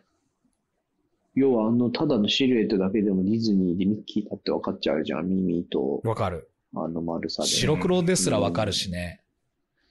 そうそうそうそう。どれ、全部使えるのかなまあ、関係なそれくなっちゃう。ともあの、ただ、キャラクターとしての、えっと、でも面白い話だね。あストーリーとかもさ、勝手なストーリー作れちゃうし。あと、販売もできるかいや、でら。も、そう。そうそう、ディズニーどう動くんだろう。そうなんだよ。気になるよね。気になるね。うんまあ、ディズニー開ストア、放したら面白いね、でも。どうなるんだろう。うんこれさっき言ってたクラシック音楽からさ、はい波及して現代音楽につながってって、でも絶対さ、We Are the World とかの作詞や作曲もルーツ辿っていくとさ、ベートーベンに必ずフックしていくじゃん、どっかのタイミングで。で、うん。ベートーベンからまたさらに遡ればさ、やっぱバッハとか何かにひこうフックする部分というか、こうコピーされてうんコピーされてが繋がっていくと、まあその延長線にどっちもあると思うんだけど、まあその変化の中で、変遷する中で、まあ、いろんな変化が起きて、それなんで変化が起きたのかとかさ、何をアンチテーゼしてるとか、何をオマージュしてるとかっていうのがさ、分析できると、これから何が起きるかも、同じ傾向がこううん出る可能性が高いというか、確率論でしかないけど、未来予測するにはさ、やっぱ過去起きたことをこう分析するって結構大事だなと思ったりもする。うん。うん。そうだね。ん。まあおもろいよ。あと、やっぱりそういう、最近考えてるのは、その、まあ、か、トレーダーの中で言うと、買う、買いと売りのタイミングっうんうん。て、もう考え方が本当に月とすっぽんで、うーん。今、始めよう、ミッキーのに関しては、まだ買いのタイミングじゃん。うんうんうん。まあ、それを取り込んで、うん。でもどこで利益確定させるかっていうのは、うんうんまた別の頭で考えないと失敗する。うん。確かに確かに。だからそ、そ、うんどっちかっていうと、まあ、買いのタイミングは来てるけど、売り確定を今から決めておかないと、出口戦略。そうそうそう。うんそこを、だらだらやっちゃうと、結局、確かに。なんて言うんだろう、プラスを確定できない確かに。確かに確かに。から、そこを俺も今勉強中なんだけど、なるほど。まあそうだね。あんまり大きい利益は望めないっていうことだけは念頭に置いた方がいいと思ああ、なるほどね。う。もう勝ちにね、っていうか、うん。うん。初、初動だけもらうぐらいうのんうんうん。確かにね。確かにね。まあでも、初がいいと動、は思う、初動しか食えないんだよね。この規模だと。資本投入できないし、人的にも、金銭的にも。うんだから、うん小さな、小さな動き、値動きしかこっちも対応できないから、あお多く張っていくことはないんだよね。まあ、それやると失敗した時のリスクでかいしね。そう。だ自己投資とかも同じだよね。引っ越しするとか、そういうところでは、こう、投資の対象になるけど、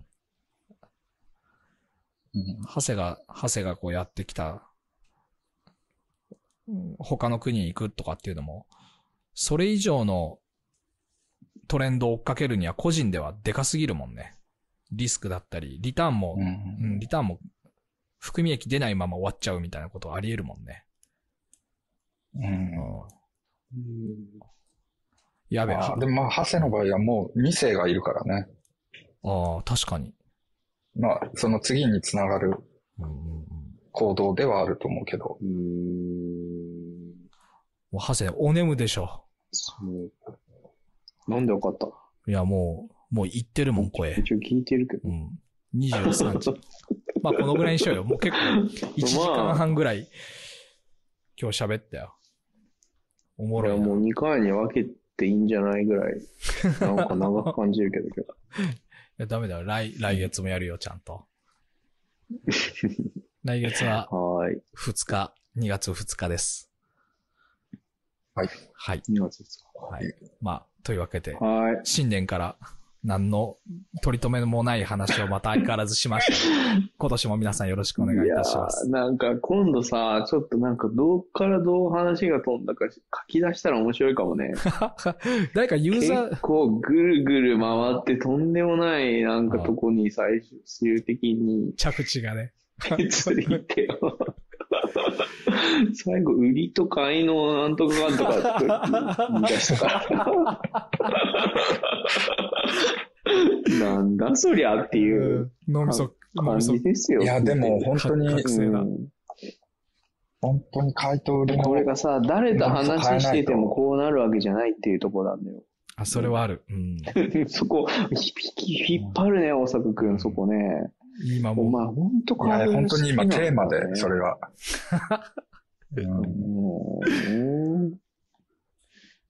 はい。買う？おやすみ。お休み。もういいよはい。もういい。うんじゃあ、じゃあまた来月お会いしましょう。ありがとうございました。はい、ありがとうございました。ありがとうございました。